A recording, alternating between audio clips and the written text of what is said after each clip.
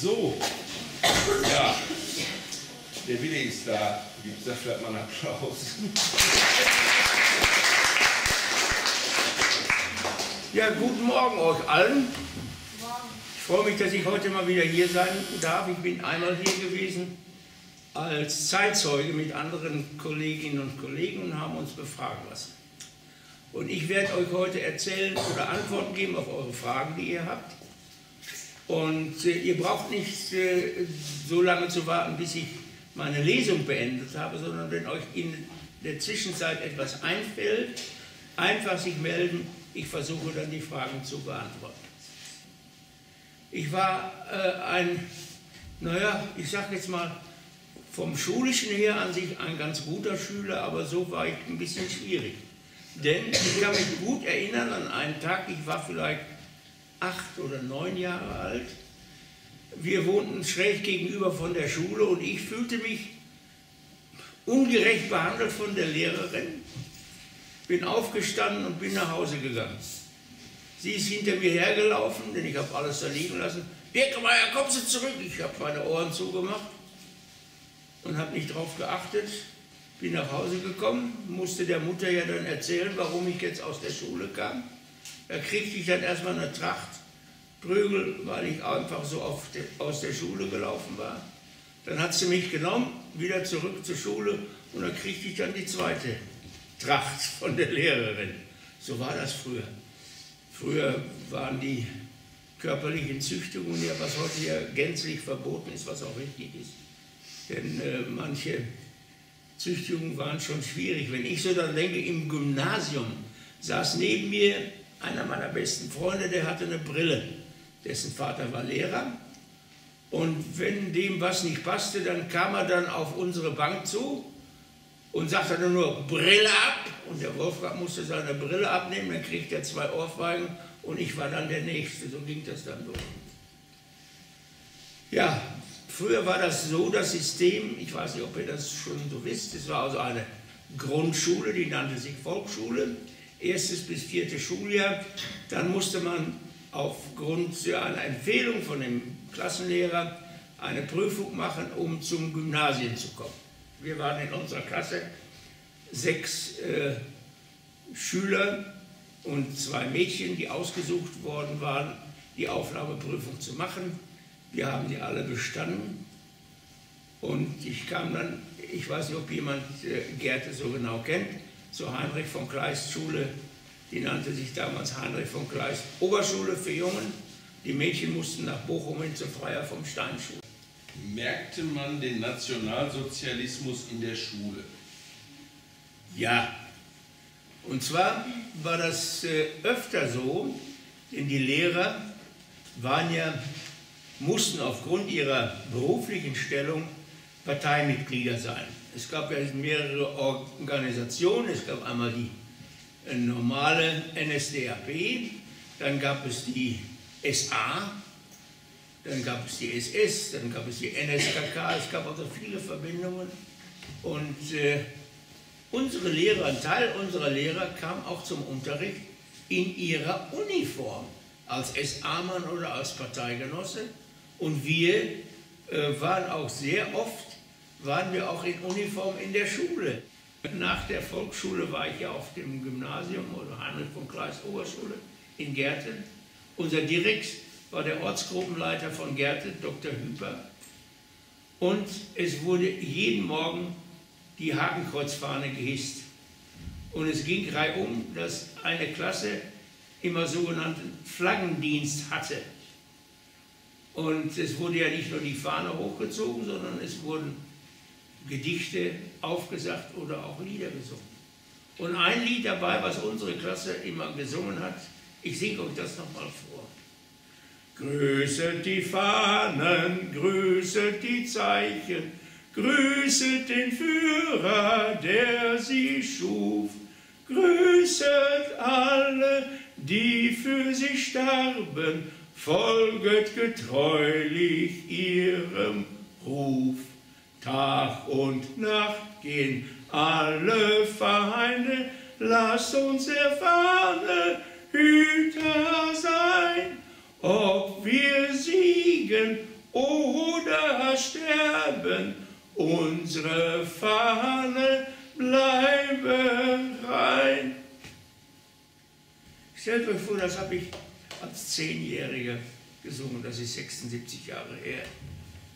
Und das ist noch so wach in meinem Gedächtnis und das ist auch so ein Beweis dafür, wie wir den Nationalsozialismus praktisch eingeimpft bekommen haben. Wir hatten also im Schulunterricht, Geschichtsunterricht, war also Geschichte des Nationalsozialismus. Äh, sehr intensiv. Wir mussten also auch sehr viel selbst darüber schreiben, berichten. Äh, zum Beispiel den Lebenslauf von Adolf Hitler musste jeder auswendig kennen. Wehe dem, es konnte den, äh, keiner den Lebenslauf nacherzählen. Äh, wir waren also äh, von allen Seiten waren wir also vom Nationalsozialismus umgeben. Ich wohnte also auch nicht weit davon. Mich fuhr also kein Auto in die Schule, so wie das heute bei manchen üblich ist. Aber war ja auch gar nicht notwendig, die Schulen waren ja ganz in der Nähe. Ja, und äh, ich habe dann meine mittlere Reife gemacht, so nannte man das früher. Das ist ja heute die Fachschulreife, glaube ich. Denn ich wollte Ingenieur werden und äh, man ging von der Schule aus in einen Betrieb, um zwei Jahre ein Praktikum zu machen, als Schlosser, als Dreher, als Schweißer. Immer überall so sechs bis acht Wochen da rein riechen die Nase und dann ging man zur Ingenieurschule und machte dann seinen Ingenieur. So, ich fange mal an mit dem Hitlerbild. Ich weiß nicht mehr ganz genau, wie alt ich war, äh, aber ich muss also wirklich schon vielleicht 12, 13 gewesen sein. Äh, da, wir wohnten auf der Heinrichstraße in Gerte gegenüber der Wirtschaft Hanholz. Und äh, in der Wirtschaft Hanholz wurde gewählt. Irgendwas. Ich weiß es jetzt nicht mehr, was es war, aber da ist eine große Eingangstür und an einem Flügel war das Porträt von Adolf Hitler. Überlebensgroß oder lebensgroß. Also es war richtig die ganze Tür, so wie er sonst stand, war da drin. Und dann konnte ich von meinem Zimmer aus, das Fenster sah ich das, bin dann rausgerannt und habe versucht, jemanden Erwachsenen zu erwischen, der mir erlaubte, dieses Poster abzumachen.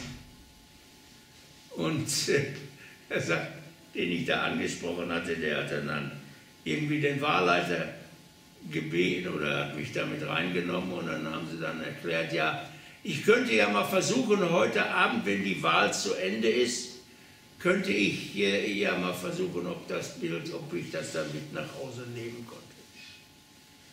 Heute weiß man, dass man diese Wahlpropaganda gar nicht mehr am Wahltag da raushängen darf. Aber wie gesagt, da wusste ich ja nichts von, mich interessierte nur das Bild. Und ich bin nicht am Abend wiedergekommen, sondern ich bin bis zum Abend dort stehen geblieben. Dort stehen geblieben, habe ich mal ab und zu bewegt, aber so, dass ja niemand anders an das Bild kam und das mir wegnehmen konnte. So, ich durfte das dann abends dann mitnehmen, hat jemand abgemacht und ich bin dann freudestrahlend nach Hause gerannt und brauchte ja nur über die Straße zu rennen und habe dann das in meinem Kinderzimmer aufgehängt. Wie ihr, Michael Jackson oder wen auch immer euch das. Das war so für mich der Adolf Hitler. Was haben deine Eltern dazu gesagt? Die haben mich gewähren gelassen, denn wir hatten ja sowieso im Wohnzimmer äh, ein kleineres Bild vom Hitler an der Wand. Denn der Vater war ja Steiger auf Lothringen und wenn man eine äh, Funktion hatte wie ein Steiger, dann musste man automatisch in einer Organisation der Partei sein. Das gab es also nicht, dass man Steiger sein konnte und nicht in der Partei sein. Und ihr möchtet natürlich wissen, wie das so war mit der Hitlerjugend, mit dem Jungvolk, damit ihr euch das mal vorstellen könnt. Ich werde oft gefragt, ob ich den Hitler gesehen habe. Und dann muss ich ganz ehrlich sagen, persönlich habe ich ihn nicht gesehen. Obwohl, äh, es war glaube ich 1937, fuhr ein Zug äh, mit dem Führer, mit dem Hitler und dem Duce, dem italienischen äh, Führer, fuhr durch Bochum. Und äh, die äh, Mädel und Jungen vom Jungvolk und vom Jungmädelbund mussten dann an den Gleisen stehen, an den Hängen, an den Bahndämmen mit Fähnchen und Winken, damit also der Führer sah, wie beliebt er ist. Ich war ja noch keine zehn Jahre alt, denn man kam erst zum Jungvolk, wenn man zehn Jahre alt war. Ich habe auf meine Mutter gebettelt und getan und äh, bis sie mir dann endlich dann ein braunes Hemd organisiert hatte und dann schwarze Hose hatte ich, kurze Hose, glaube ich, und von meinem Bruder kriegte ich dann noch einen Koppel und einen Schulterrieb, all sowas und bin dann mit seinem Zug dahin marschiert und dann haben wir also auf den Zug gewartet, der uns den Führer zeigen sollte. Und äh, wie wir dann so an dem Bahndamm da stehen und war voll Mädchen, Jungen, die ganze Strecke lang. Und dann kam ein Zug angefahren. Und er war vollkommen geschlossen, von vorne bis hinten, wie ein eiserner Tatzelwurm. So sauste der da durch. Und dann wurde erklärt, ja, das ist der Vorzug, der also äh, kontrollieren soll, ob die Strecke auch frei ist, dass unserem Führer und seinem Gast nichts passiert. Und dann kam der Führerzug, mit Fähnchen geschmückt, und der sauste aber genauso schnell an uns vorbei wie vorher der eiserne Tatzelwurm. Aber wir haben uns dann gegenseitig übertroffen, wer also Hitler gesehen hatte. Der hatte gesehen, dass Hitler Glas in der Hand gehabt hat und hat uns zugetrostet und zugewinkt und der Italiener auch. Und wenn man ehrlich ist, gut, damals habe ich auch da mitgeschwärmt, äh, wir haben also nichts gesehen, nur einen ganz, ganz schnell fahrenden Zug. Ja, wer kam ins Jungvolk? Das wollt ihr doch sicherlich wissen. Wenn man also zehn Jahre alt war, Jungen wie Mädchen, die Jungen kamen ins Jungvolk, die Mädchen kamen in den Jungmädel in BDM. Bund Deutscher Mädel hieß das. Der eigentliche Dienst war mittwochs und samstags nachmittags.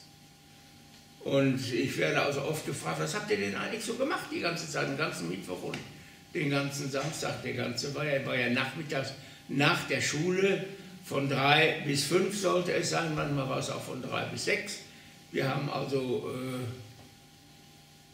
wir trafen uns immer in einer Schule, wir hatten dann ein Klassenzimmer für uns und es wurde also dann, Geschichten wurden erzählt oder vorgelesen oder Teile aus dem Führers Mein Kampf, ausgesuchte Stellen wurden dann besprochen und äh, äh, naja, wir haben also auch, wenn schönes Wetter war, Geländespiele gemacht.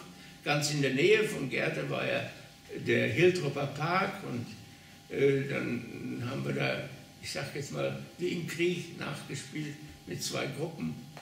Und äh, dann haben wir viel Sport gemacht. Leichtathletik, wir hatten auch eine Fußballmannschaft, wir haben Fußball gespielt, Handball auch gespielt.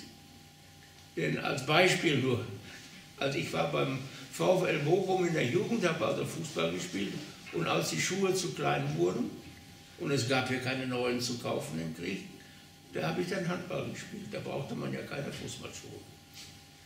Ja, wenn man also dann äh, im Jungvolk war und die Struktur war erst, es waren also Gruppen, kleinere Gruppen, die nannten sich die Jungenschaft. Da waren so 12, 15 Jungen und einer von diesen 15 war dann der Jungenschaftsführer. Der trug auch an seinem braunen Hemd eine kurze rot-weiße Schnur, hier so von der Brust bis zu der Brusttasche. Äh, darüber gab es dann den Jungzug. In diesem Jungzug waren vier oder fünf Jungschaften. Äh, dann war da auch ein Jungzugführer, der eine grüne Kordel trug. Dann gab es das Fähnlein. Das Fähnlein beinhaltete dann wieder vier Jungzüge oder auch fünf, je nachdem, wie viele Jugendliche da waren. Und der Fähnleinführer trug eine grün-weiße Schnur. Und darüber gab es dann den Stamm, also in, Herrn, in äh, Gerte gab es dann einen Stamm und in diesem Stamm waren die Fähnleins alle vereinigt und es gab einen sogenannten Stammführer, der eine weiße Kordel trug. Und das Ganze wurde dann geleitet äh, und organisiert von äh, einer Stelle, die nannte sich Gauleitung. Das gab es für die Partei und eben auch für die jungen Menschen in Bochum und wir gehörten zur Truppe Westliches Westfalen. Ich habe schon, in der, als ich noch in der Volksschule war, ich will nicht sagen, dass ich Führungspositionen eingenommen habe, aber zum Beispiel mussten wir in der Schule einmal im Monat fünf Pfennige einsammeln für die Volksdeutschen im Ausland. Das Geld wurde gesammelt und wurde dann, damit wurden die unterstützt, die Volksdeutschen, die nicht in Deutschland wohnten, sondern im Ausland. Nachher im Gymnasium waren es dann 10 Pfennige und dann waren es mal 20 Pfennige. Und äh, ich war schon derjenige, der in meiner Klasse das Geld einsammeln musste. Manchmal hatte man die 5 Pfennige nicht. Es, war ja, man, es gab ja noch nicht die Zeit, wo jeder sein Taschengeld bekam. Ich kann mich erinnern, in Gerte gab es auf dem Heinrichplatz eine Kirmes. Einmal im Jahr, meine ich, oder vielleicht auch zweimal. Dann bekam ich von meinen Eltern zehn Pfennige, also einen Groschen. Und dieser Groschen wurde dann aufgeteilt, fünf Pfennig einmal zum Fahren, Autoscooter oder was es doch immer gab. Und die zweiten fünf Pfennig habe ich mir eine Stange Lakritz kaufen können. Und damals habe ich mir schon, schon gewünscht, einmal im Leben so viel Geld zu haben, dass ich immer Lakritz essen konnte. Und äh, ich habe über Jahre, über Jahre habe ich immer in meinem Handschuhfach, in meinem Auto, immer Lakritzstangen gehabt. Wenn ich also Hunger auf Lakritz hatte, habe ich mich an die Zeit erinnert, dann eben kurz ins Handschuhfach gegriffen und das Lakritz gegessen. Natürlich war das also auch für uns, wenn man so sich, wenn man äh, die Sportveranstaltungen dann nahm und, und äh, dann waren auch Sportfeste dabei und wurde gekämpft um den Sieg und mit Urkunden und alles Mögliche wurden dann verteilt, wenn man gewonnen hatte. Das ist natürlich für junge Menschen ist das natürlich noch richtig interessant. Zum Beispiel, ich war also gut im Kleinkaliberschießen und war dann auch 1944 zu äh, den deutschen Meisterschaften nach Suhl. Suhl liegt in der ehemaligen DDR, war bekannt zu der Zeit, auch heute noch, für Yachtgewehre, Handfeuerwaffen und dort war eine Schule äh, eben für Hitlerjungen. Äh, und dort wurden dann die deutschen Meisterschaften im Kleinkaliberschießen ausgetragen, um äh, mich auch selber zu loben. Ich hatte bei der letzten Prüfung von 200 Ringen 196, reichte aber nicht zum Sieg, denn der Sieger hatte volle 200 Punkte. Ja, und was für so einen Jungen, das macht doch Spaß auch, ne? ein richtiges Gewehr in die Hand zu nehmen und richtig zu schießen. War schon was. Ja, und dann äh, war ich dann auch Jungzugführer. Fernanführer war mein Bruder.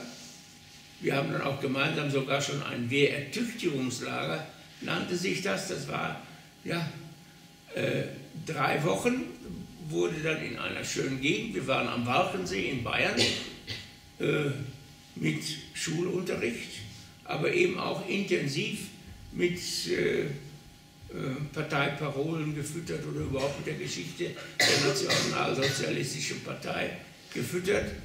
Und äh, in diesem, wir waren dort als Aufsichts- und Führungspersonen und die dann da waren, waren dann eben junge äh, Hitlerjungen, aus verschiedenen Gegenden, die dann da drei Wochen dann äh, waren und dann einen Intensivkurs machten. Zum Beispiel beim Sport gab es sogar eine Disziplin Handgranatenweitwurf. Und wir haben uns überhaupt keine Gedanken ge gemacht, dass das eventuell schon die Vorbereitung zum Krieg war. Und äh, als wir dann nach Oberschlesien zogen zu meinem Vater, war ich 15 Jahre alt, wurde dann fast 16 und habe dann in dem Ort, wo wir dann wohnten, habe ich dann äh, eine Jungvolktruppe aufgebaut. Ich habe einen Fanfarenzug gegründet. Fanfarenzüge waren also, äh, ich weiß nicht, ob ihr die Fanfaren kennt, zwölf Fanfarenbläser, sechs bis acht Landskriegtrommeln und sie zogen dann, wenn wir marschierten, vor uns her. Bitte. Sie waren ja eine ähm, Hitlerjugend. Was, also was fanden Sie persönlich daran am schönsten? Also was fanden Sie da jetzt nicht? Also sozusagen am besten? Als Hitlerjunge? Ja. Ja, Sport, Fußball, äh, die Heimabende waren auch nicht schlecht. Die haben Theater gespielt, die haben Weihnachtsfeiern gemacht. Das fand ich richtig gut. Ja. Und da hat auch jemand gefragt, ob ich stolz auf meine Uniform gewesen bin. War ich. Als Hitlerjunge noch nicht so. Das war also, man zog die Uniform an, das braune Hemd, die schwarze Hose oder im Winter eben die Winterkleidung. Aber dann als Luftwaffenhelfer hm, war schon, gab es also die normale Uniform, die man jeden Tag trug und dann gab es die sogenannte, die Russen haben das in ihrer als Paradeuniform betitelt unter dem Bild. Es war also die Ausgehuniform mit weißem Hemd und schwarzen Krawatte. Nee, war ich schon stolz. Und als ich dann, dann noch die Auszeichnung kriegte, die, das EK2 habe ich ja bekommen in Auschwitz, weil wir da einen bestimmt großen Angriff abgewehrt hatten. Äh, aber das kriegte ich nicht nur für mich allein, sondern für die ganze Batterie. Aber ich war der Mannschaftsführer, kriegte ich eben dieses Eiserne Kreuz zweiter Klasse. Und dann, als wir dann in Breslau waren, wo wir dann auch so viele Flugzeuge abgeschossen hatten, kriegte ich dann, weil ich schon das EK2 hatte, sonst hätte ich das EK1 nicht gekriegt, sondern dann kriegt man eben die Stufe höher. Das Eiserne Kreuz erster Klasse. Sag mal, welche Erinnerung hast du an die Hitler-Mädchen, an die BDMs?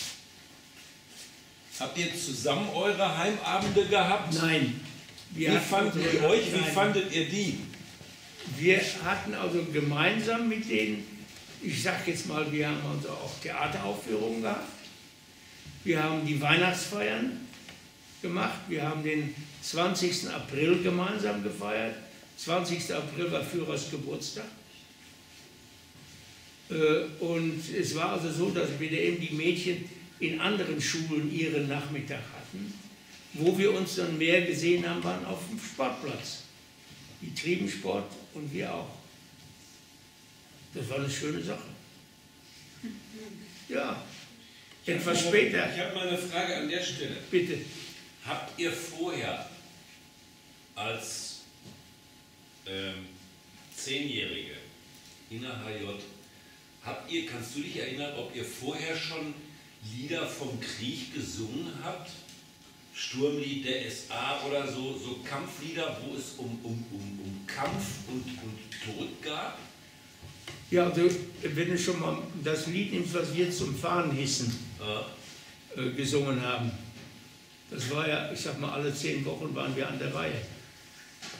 Und äh, wir waren also im Jungvolk in der Hitlerjugend ich kann mich nicht so genau erinnern, aber du hast mich ja schon mal nachgefragt, ob wir also auch so gegen die Juden, als dann die Judenfrage dann auf nationalsozialistische Art und Weise gelöst werden sollte, das dann haben wir dann auch gesungen, wälzt die langen Messer, wälzt die langen Messer, wälzt die langen Messer, stecht sie in den Judenbauch hinein oder so ungefähr. So was haben wir auch gesungen. Uli.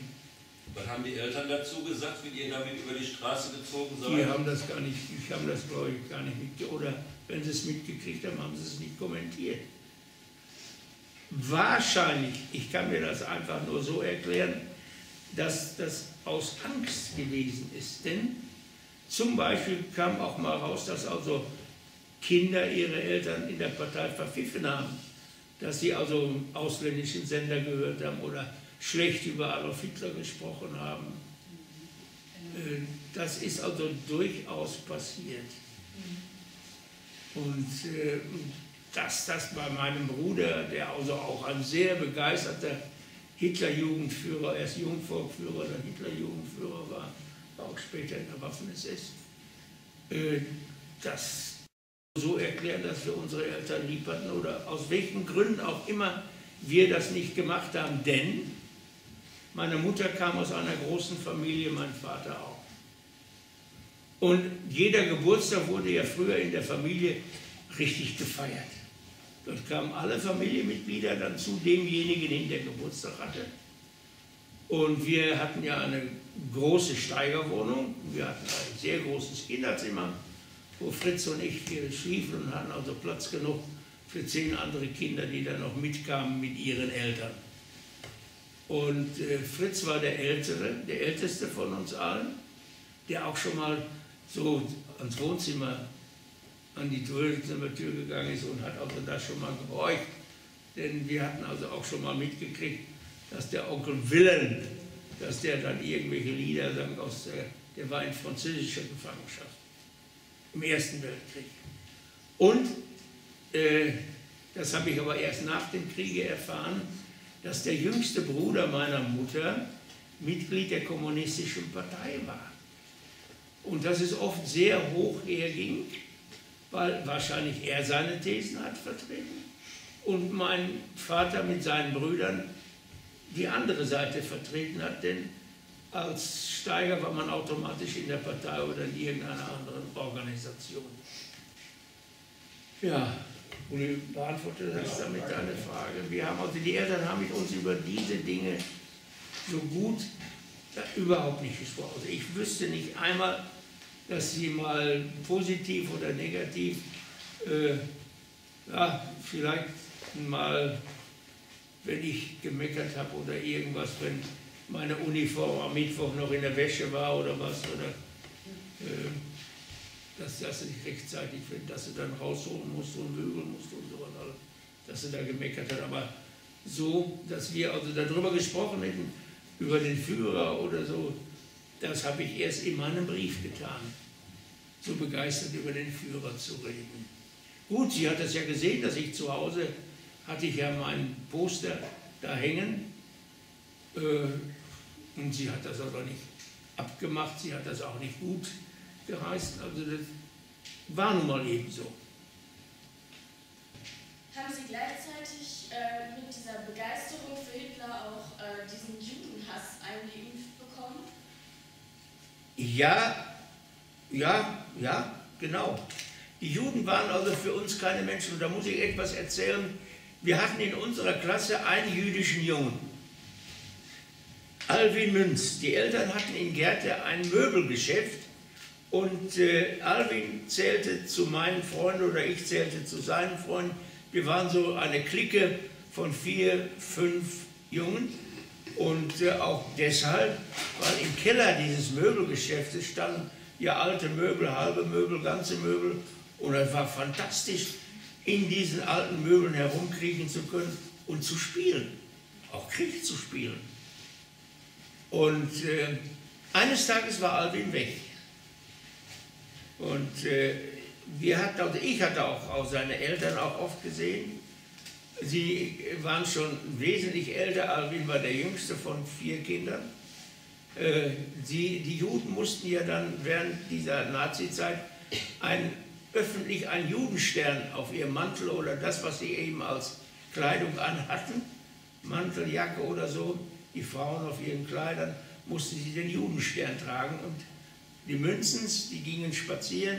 Er hatte so eine Aktentasche unterm Arm, was also den Judenstern verdeckte und Frau Münz hatte ihre Handtasche davor und nur wenn ihnen dann ein Polizist oder sonst ein Uniformierter ihnen entgegenkam, dann traten sie die Tasche dann darunter, denn es war für die Juden Pflicht, diesen, dieses Erkennungszeichen zu tragen. Und auf einmal äh, war Alwin weg. Die ganzen Münzen waren weg. Aber, äh, ja, wenn man mal ehrlich ist heute, man hat das zur Kenntnis genommen, aber nicht weiter geforscht, warum, wieso, weshalb. Denn äh, viele Leute sind umgezogen in ein anderes Land, in eine andere Stadt. So ist uns das also auch zum Teil erklärt worden. Die sind also haben die äh, eine andere Bleibe gefunden in einer anderen Stadt. Ich habe dann versucht, vor etlichen Jahren ein Klassentreffen zu organisieren der sogenannten E-Männchen, der Volksschule, der Grundschule, nach über 60 Jahren. Ich habe also von den äh, über 30 Schülern, die in unserer Klasse waren, habe ich also 27 erreicht und 25 sind zu unserem Treffen gekommen. Wen ich nicht erreicht habe, war Alvin Münz. Was ich alles unternommen habe in der Presse. Ich habe also in Yad Vashem in Israel angerufen und habe versucht, äh, Einblick in Archive zu bekommen, um zu rauszukriegen, was ist mit diesen Menschen passiert.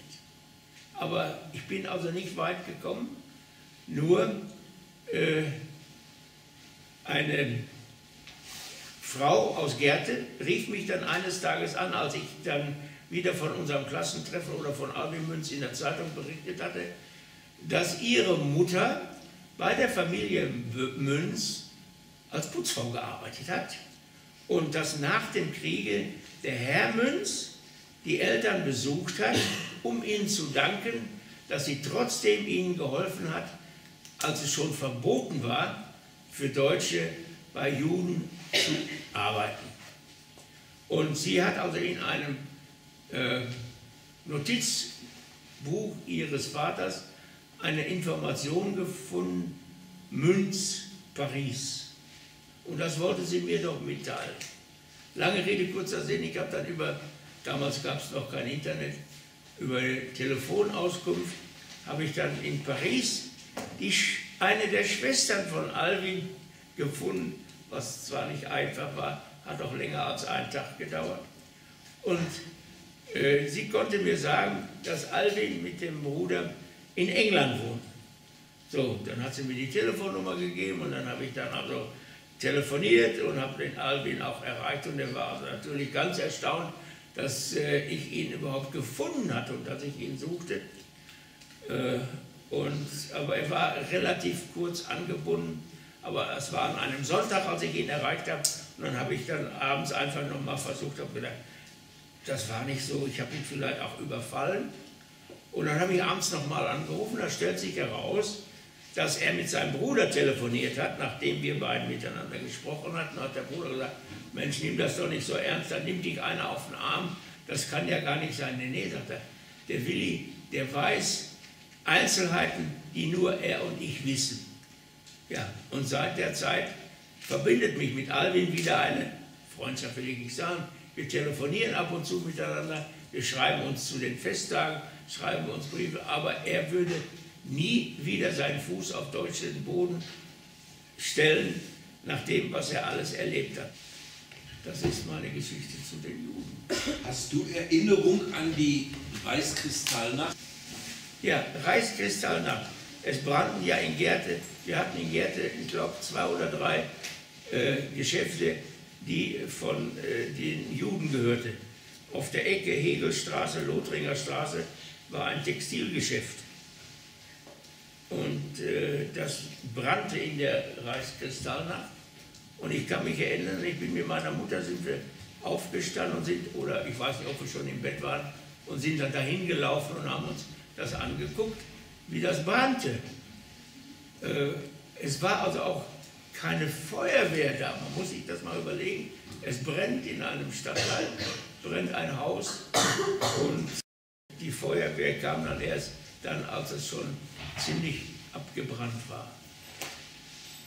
Das ist meine Erinnerung zu Kristallnacht. Dann war ja dann der Krieg und ich werde nie vergessen, wie meine Mutter, als am, im September der Krieg gegen Polen anfing, das war ja 1939, ich war also elf Jahre, ich sehe das noch heute vor mir, in der Küche hat sie mich in den Arm genommen, mein Bruder war wohl in der Schule, hat sie mich in den Arm genommen und hat mich gedrückt und hat gesagt, was bin ich froh, dass ihr noch so jung seid und nicht in den Krieg müsst. Denn meine Mutter hatte den Ersten Weltkrieg erlebt, dort war sie 19 oder 20 Jahre alt. Sie wusste zu der Zeit auch, was Krieg bedeutet. wir waren ja nur so euphorisch.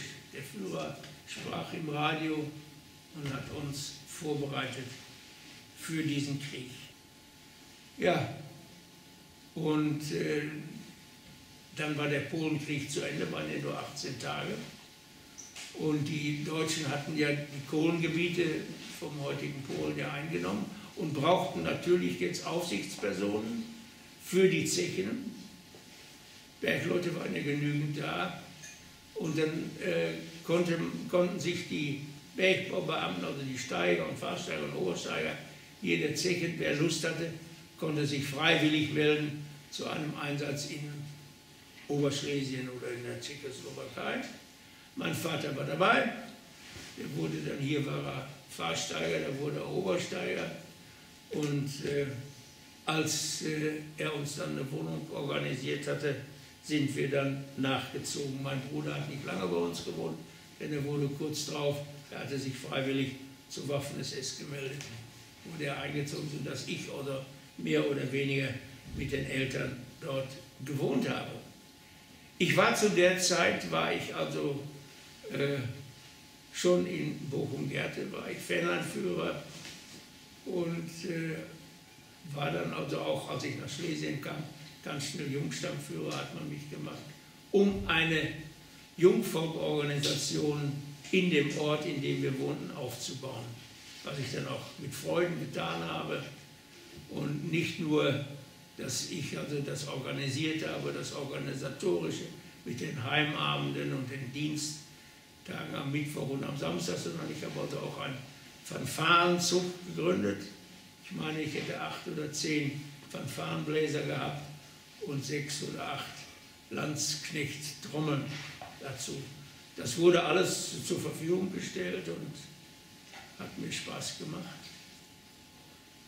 Und ich wollte Ingenieur werden und um Ingenieur zu werden, musste man zwei Jahre in einem Stahlwerk eine Praxis machen, als Schlosser, als Schweißer, als Dreher. Und als ich dann 16 Jahre alt war und die Möglichkeit hatte, mich freiwillig als Luftwaffenhelfer zu melden, habe ich das natürlich auch getan. Mir war das also wichtiger, für das Vaterland Eigendienst zu tun, als äh, mich um meine Ingenieurlaufbahn zu kümmern. Äh, ich kam dann zur Ausbildung nach Auschwitz.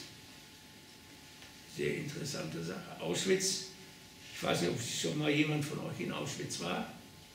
Nein? Wenn man also aus der Stadt rausfährt zum Bahnhof Auschwitz, dann ging eine Straße nach links und eine nach rechts. Die Straße, die nach links ging, war auf der linken Seite von der Straße schon teilweise das fertige IG-Farbenwerk, was schon in Betrieb war, und ein Teil, der noch neu gebaut wurde. Auf der rechten Seite dieser endlos langen Straße waren Arbeitslager, Gefangenenlager, Konzentrationslager. Wir haben zum Beispiel mit unserer Flak gegen Tiefflieger direkt neben dem Haupteingang gelegen. Wenn ihr schon mal ein Bild gesehen habt, äh, ein Tor und darüber steht, ein äh, Arbeit macht frei. Und wir haben hier also jeden Morgen gesehen, wie also die Häftlinge mit gestreiften Uniformen oder ja, Arbeitsanzügen äh, aus, mit Marschmusik aus dem Tor marschierten, um zur Arbeit zu gehen. Begleitet wurden sie von, bitte? Begleitet wurden sie von sogenannten Kapos, die sich dadurch unterschieden, dass sie also anstelle der gestreiften Hose eine schwarze Britscheshose hatten, dass sie Stiefel anhatten und hatten so ähnlich wie ein Baseballschläger in der Hand, um auf ihre Kameraden einzudreschen, wenn sie nicht schnell genug liefen oder was auch immer dort war. Und äh, ich habe mal gefragt unseren Spieß, Hauptfeldwebel, was sind das eigentlich für Leute da, die da in diesen Arbeitslagern sind? Konzentrationslager, den Ausdruck kannten wir zu der Zeit gar nicht. Ja, sagte er, das sind Feldpostmarder, das sind Frauenschänder. Feldpostmarder insofern, Feldpost während des Krieges äh, konnte man, konnten die Soldaten Briefe nach Hause schreiben und umgekehrt, aber um ein Päckchen von zu Hause zu kriegen mit etwas Essbarem oder was, musste man eine Feldpostmarke haben und man konnte Päckchen bis zwei Kilo damit bekleben, sonst wurde dieses Päckchen erst gar nicht angenommen. Und das waren dann eben so, ja, die haben sich also diese Päckchen unter den Nagel gerissen und die Sitzen geziert oder haben Frauen geschändet oder was auch immer. Und damit waren wir zufrieden. Dann hatte ich noch eine Frage gestellt, weil es in Auschwitz gab es einen sehr merkwürdigen Geruch in der Luft, der nie wegging. Gut, wenn der Wind anders wehte, aber meistens war dieser Geruch da und dann habe ich auch unter den Spieß gebracht. Da Sie mal, äh, Hauptfeld, äh, was ist das hier, was riecht das hier so komisch? Das kenne ich nicht von zu Hause. Ja, sagt er, du hast doch hier gesehen, das ist dieses riesige Chemiewerk, was hier schon fertig ist oder gebaut wird. Und die produzieren schon chemische Dinge und das riecht dann eben so. Dass dieser Geruch von den Öfen kam, wo die Menschen verbrannt wurden, wussten wir ja nicht, denn die Straße, die nach rechts ging vom Bahnhof aus, ging nach Birkenau. Und Birkenau war das, ich sage jetzt mal, Empfangslager für die Gefangenen da, Männer und Weiblein. Denn äh, die Eisenbahn fuhr also in dieses Lager rein. Und da in dieses Lager oder in diese Straße durfte überhaupt kein hin, keiner hin, der nicht legitimiert war, der da was zu sagen hat. Wir, und wir haben auch so gar keine Anstalten gemacht, man darf da nicht hin und dann geht man da auch nicht hin. Ja, später habe ich erst erfahren, was das für ein Lager war. Und äh, als ich äh, äh die Möglichkeit hatte, Abteilungsleiter zu sein und Monteure einzusetzen in Polen, dann hatte ich zur Auflage gemacht, äh, wenn einer nach Polen fährt, um zu arbeiten, er muss also sich zwei oder drei Tage in Auschwitz aufhalten. Das habe ich auch gemacht, denn als ich aus der Gefangenschaft nach Hause kam, habe ich in meiner Zeit sehr viel, äh, war ich in England auch tätig und habe anfangs in einem Hotel gewohnt, was Juden gehörte und Juden praktisch die Gäste waren. Und ich habe mich mit denen stundenlang gestritten über Auschwitz. Denn sie haben noch niemals einen kennengelernt, der in Auschwitz war und der so vehement behauptete, dass dort niemand umgebracht worden ist. Dass er alle arbeiten musste, aber von umbringen, habe ich ja dann erst nach dem Kriege genau gehört und hatte mir vorgenommen, ich gucke mir Auschwitz genau an. Das habe ich auch getan. Habe zwar danach eine Woche Schwierigkeiten gehabt, zu schlafen, denn ich hatte mir auch den Film angeguckt, wie die Russen äh, die Gefangenen vorgefunden haben, als sie das Lager befreit haben. Wir wurden dann verlegt von Auschwitz aus nach Breslau. Breslau liegt im heutigen Polen und heißt Wroclaw zu einer Flakbatterie 8,8 Zentimeter Geschütze, das waren dann schon die großen Geschütze, wo also die äh, Yachtbomber, die Engländer und Amerikaner, die dann kamen nachts in großen Höhen und um unsere Städte zu bombardieren, Bochum, Köln, Essen, was auch immer.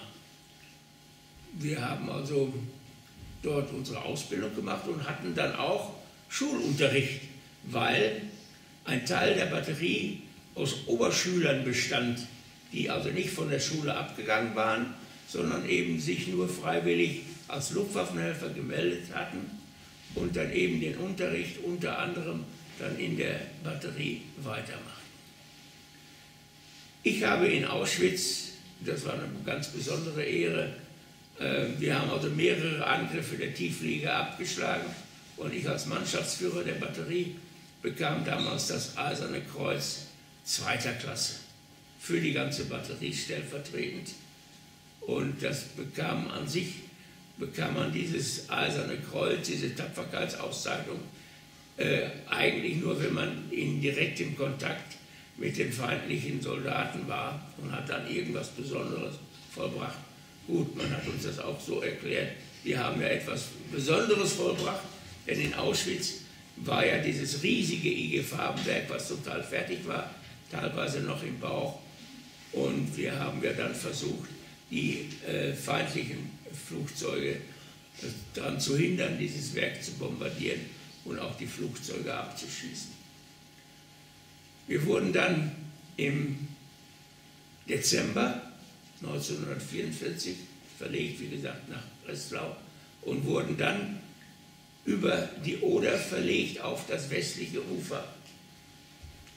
Und äh, wir wussten zu dieser Zeit noch nicht, dass die Front schon so weit in Deutschland war. Mit Mann und Ross und Wagen unsere Flakbatterie äh, über die zugefrorene Oder gepackt in vorbereitete Stellungen. Und wir waren schon sehr, sehr modern ausgerüstet. Wir hatten zur Messung der Flugzeuge, wie sie angeflogen kamen, ein sogenanntes Funkmessgerät fuhren, äh, Würzburger Riese nannte sich das. Ein Bildschirm, 14 Meter Durchmesser und wir konnten schon auf mehrere hundert Kilometer messen, wie, viel, oder wie die Flugzeuge ankamen, in welcher Höhe, welche Geschwindigkeit. Das wurde dann übertragen auf die Geschütze und so weiter. Was war eigentlich Ihr Gefühl, als Sie das erste Mal eine Waffe in der Hand hatten? Das war ja nicht das erste Mal, denn wir hatten ja die, schon in der Hitlerjugend haben wir mit Kleinkaliber geschossen. Wir haben im Wald, haben wir da, ich sage jetzt mal, Konservenbüchse oder irgendwas so aufgestellt und haben da schon geschossen. Und, also das war also für so, ich, ich habe noch dieses Gefühl, wie wir in diesem Geschütz saßen, für die Tiefflieger. So, das sind ja die, die da jetzt ankommen, die wollen mich ja umbringen oder hier uns hier umbringen. Mit welcher Inbrunst, mit welcher habe ich dann da gesessen und versucht, mit meinen Geschossen das Flugzeug zu, zu treffen. Und dann nachher, also auch in Breslau, in der Flagge, ich war ja Ladekanonier, das heißt, ich habe immer die Granaten in das Rohr reingeschoben. Ich habe jede Granate mit einem, ja, will ich sagen, jede mit einem Stoßgebet, aber habe mir gewünscht, dass jede Granate auch ein Flugzeug trifft. Ich weiß nicht, ob ihr meinen Brief kennt, den ich meinen Eltern geschrieben habe. Kennt ihr den? Nein. Gut. Dann lese ich euch den mal vor. Ich war zu der Zeit 16 Jahre alt. 5. Januar 1945. Liebe Mutter, nun werden wir doch noch zur Deckung unseres Rückzuges westwärts eingesetzt. Vor ein paar Tagen sind wir von der SS-Division Hitlerjugend übernommen worden. Ich kann dir kaum beschreiben, wie stolz ich bin, endlich den richtigen grauen Rock tragen zu dürfen. Die Luftwaffenhelfer hatten auch einen grauen Rock, aber wir trugen noch die Hakenkreuzarmbinde um zu erkennen, dass wir noch keine richtigen Soldaten waren, sondern eben nur Luftwaffenhelfer. Und dann schreibe ich weiter. Ein Jahr größter Rückschläge, aber auch größter Standhaftigkeit liegt hinter uns, ebenso wie persönliche Erfolge. Denn unsere Flakbatterie hatte großen Anteil daran, dass mehrere Luftangriffe auf Breslau abgewehrt und den feindlichen Fliegern große Verluste zugefügt werden konnten. Allein unsere Batterie wurden 23 Abschüsse feindlicher Bombenflugzeuge zugerechnet. Jede Granate habe ich mit einem Stoßgebiet in das Rohr des 8,8 Flakgeschützes gestoben, damit sie auch ja ein feindliches Flugzeug trifft.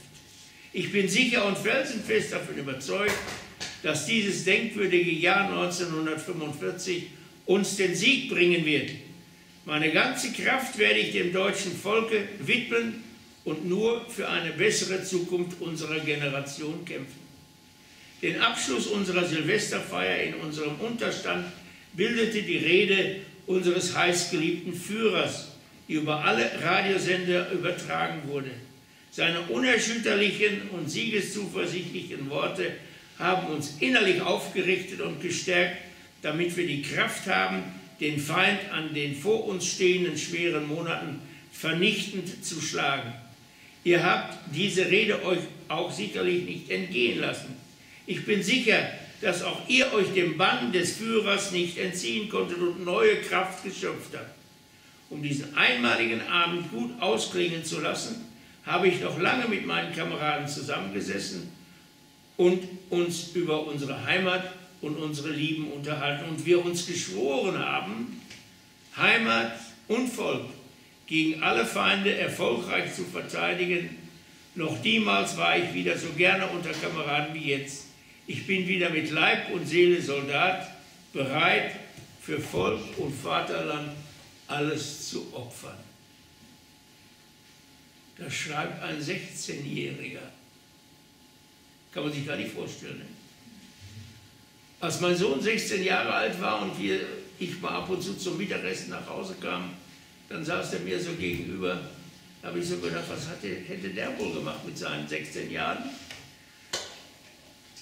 Ich wusste es nicht. Äh, aber ich wollte nur damit auch zeigen, deshalb ist das Teil meines Buches hier, wie wir von der Idee des Nationalsozialismus infiltriert waren. Keine Fragen dazu? Naja.